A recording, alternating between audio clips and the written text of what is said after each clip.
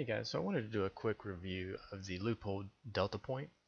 Um, it's a great sight, it's a great red dot sight, so for those of you who, who can't really stand uh, fussing around with um, a sight, the Delta Point is a, is a big time contender. Uh, unlike the Burris Fastfire, the Delta Point doesn't have an on-off switch. Um, there are literally no buttons, switches, or dials on the unit whatsoever. The only exposed hardware uh, is the adjustment screws for both elevation and windage. The delta point is motion activated and automatically adjusts the brightness of the 3.5 MOA dot for ambient conditions. My uh, gripe with this is that the windage and elevation adjustment screws use a tiny, tiny Torx bit. A Torx bit is included, um, so Allen head screws are they just won't really work. Um, so I would suggest, um, so you don't lose it, picking up um, a miniature set of Torx screw, uh, Torx bits. Uh, so otherwise the adjustments, they're marginable. Uh, the included wrench does work well, but it's not a standard tool like I said.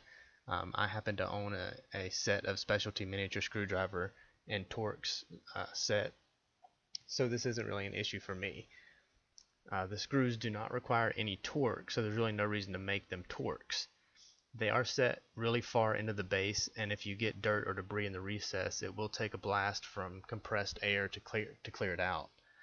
They also don't have any detents with a standard MOA adjustment, so this can be frustrating for some. Because they don't have any detents, they must have locks to prevent them from moving. However, the locks are located on the rear of the base and set at an upward angle.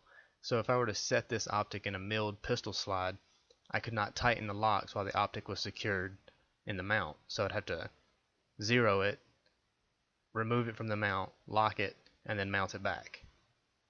That being said, um, I mounted this to my core M&P, so those weren't really issues for me. Um, sighting was simple for me. I, I did use the provided Torx wrench and was on target within, I would say less than 10 shots, probably 8 to 10 shots.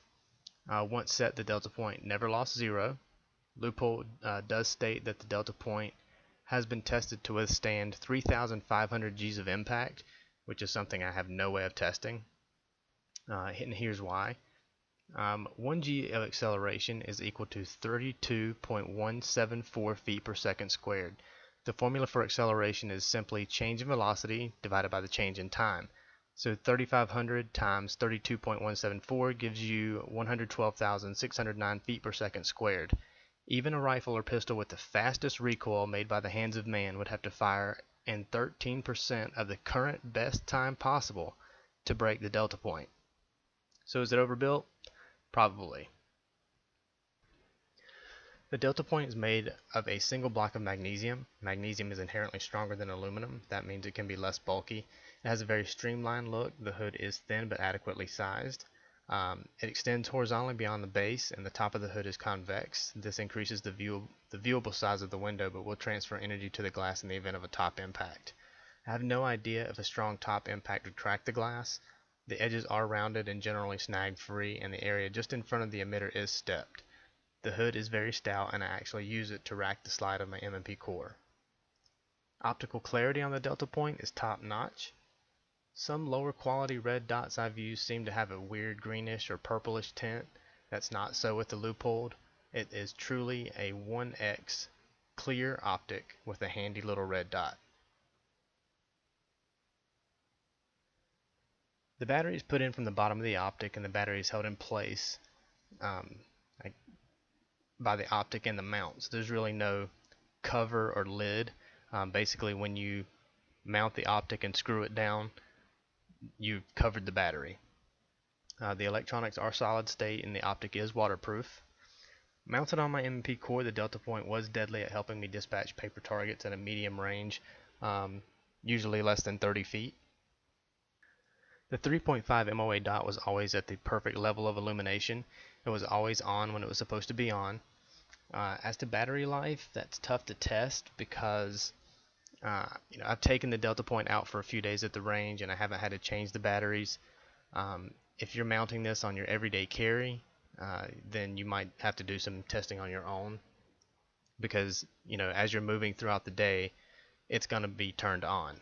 Uh, there's really no way around that. the only way it's not going to be on is if you take it out and put it in your safe or you know something like that.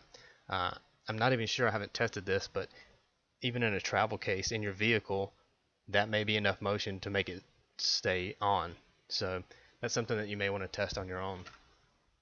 Leupold does say that their sight uh, has a battery life that's two time longer, two times longer than other red dots.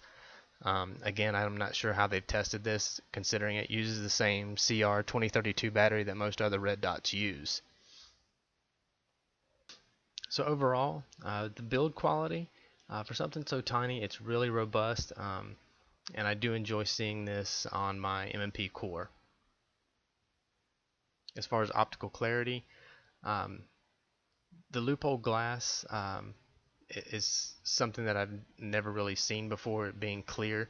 Uh, as I mentioned before, most most of the red dots will have some sort of protective coating uh, that will give a tint to the uh, red dot sight as you're looking through it. Um, so you don't get that with with this. So optical clarity, uh, I would say, is very high. Adjustments and controls. Um, again, you have to take into consideration what I said before that you're using a Torx screw with uh, no detents, no clicks to be able to tell that you've made the adjustments. Um, so otherwise, um, all the adjustments were were easy, and it does seem to hold a zero with no issues.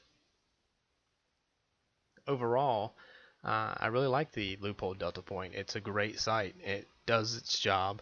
Uh, as I said, I like to use it to rack my slide, um, especially trying to do one arm manipulation, one handed manipulation of the pistol. Um, so it's definitely on the more expensive end of the spectrum.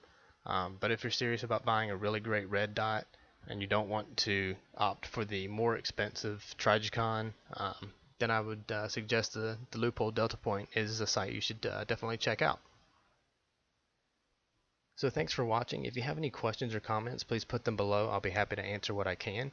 Um, please rate and subscribe. And again, thank you very much.